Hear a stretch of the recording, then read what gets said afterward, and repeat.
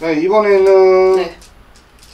아 이번에도 여자구나. 이번에도 여자예요? 여잔데. 네. 여자고 성은 손 씨요. 손? 네. 너무 쉽나? 왜요? 1983년 83년. 9월 25일 음, 돼지띠네요. 돼지띠입니다. 이분을 느끼면 왜 이렇게 사는 게 스스로가 빡빡하다라고 생각을 하면서도 엉뚱해. 좀 특이한 행동을 많이 하시나 이분 스스로 자체가? 그리고 4차원이라는 생각밖에 안 들어요. 4차원이요? 네. 왜냐면 이게 나만의 세계가 있어 이분은. 네. 나만의 세계가 있는 분이라 그거를 이해해주는 사람이 아니고서야 친구가 될 수 없다라고 보여지고 아마 이 주변의 지인들이라던가 이런 분들도 약간의 사차원기는 분명히 있을 거예요. 이분이랑 친하다면.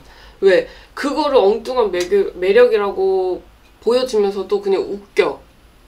같이 어울리는 사람들이. 음. 무슨 말인지 아세요? 그냥 몰라 난 이렇게 느껴지니까 엉뚱한 매력이 있는 여자다. 그치만 또 이분도 사주가 여성 여성한 스타일은 아니에요.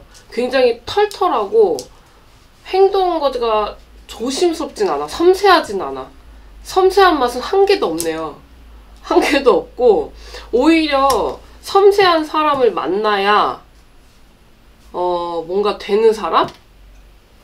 그리고 남자가 좀 옆에서 많이 챙겨줘야 될 것 같은 사람? 근데 결혼의 운기는 분명히 들어왔어. 네. 재작년부터.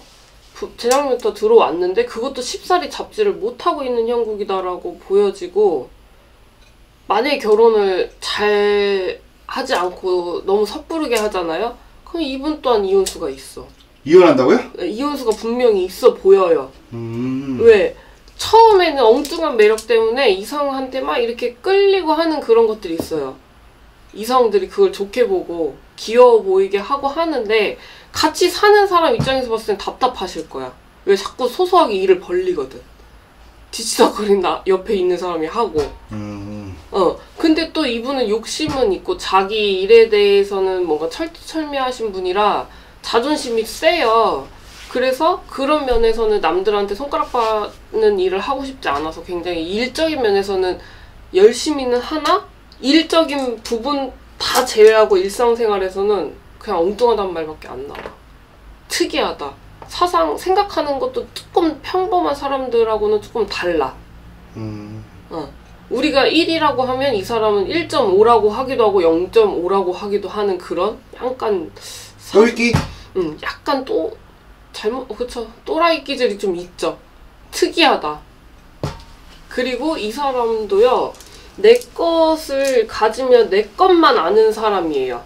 음. 너내 사람만 아는 사람이기 때문에 모든 사람들한테 다 이렇게 뭐 인간관계가 좋거나 그렇게 보이지는 않지만 내 사람한테는 좀 잘하는 사람이다. 근데 결국에는 내가 중심이다. 내가 중심이 되어야 된다. 그래서 주변에 있는 사람들도 다 나를 이렇게 끌어줘야 되고 옆에 있는 이성이 있다면 나한테 다 맞춰줘야지 그러지 못하면 어울리지 못한다.